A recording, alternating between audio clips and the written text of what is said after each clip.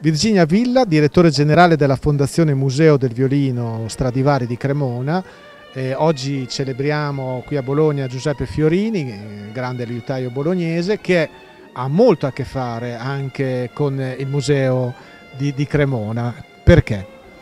Beh, il Museo del Violino che nuovo e aperto da tre anni, in realtà ha avuto la fortuna eh, di avere incomodato tutta la collezione dei cimeli stradivariani che era stata donata alla città di Cremone, che è stata al Museo Civico per tantissimi anni e che ora è esposta nel nostro museo. C'è una bellissima sezione, proprio la sezione dedicata a Stradivari,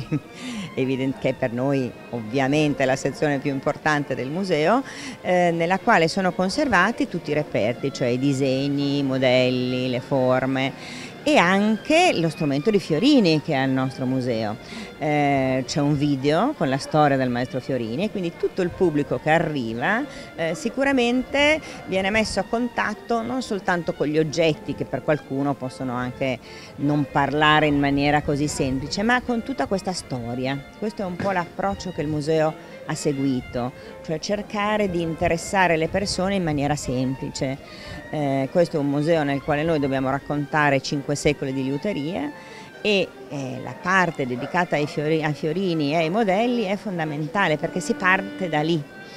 Abbiamo poi molti visitatori eh, di settore, cioè i liutai di tutto il mondo frequentano molto il museo eh, e quindi questa è una sezione importantissima per il loro lavoro eh, fonte di ispirazione, eh, di confronto. Eh, si sta pubblicando adesso il catalogo generale completo eh, di tutti i reperti stradivariani, quindi di tutti i reperti che sono stati donati a Cremona nel corso del, del tempo e la donazione Fiorini è sicuramente eh, quella principale e posso dire anche, credo, ehm, quella di più grande valore. Quindi è un valore storico ma è anche un valore umano perché continua nel lavoro di tutti gli utai che sono non solo cremonesi, non solo bolognesi, non solo italiani, ma sono ragazzi di tutto il mondo che fanno questo mestiere, che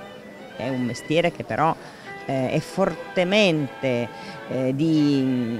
eh, di ispirazione italiana, cioè quando sentiamo sempre parlare di questa eccellenza italiana, bene, la liuteria è sicuramente un'eccellenza italiana, lo è stata, ma lo è tuttora e continua proprio nel lavoro dei maestri liutai che anche qui a Bologna è molto vivo, molto presente. E, ma ci fa sperare bene per il futuro, credo. Mm, dare uno spazio a questi mestieri artigiani è veramente importante.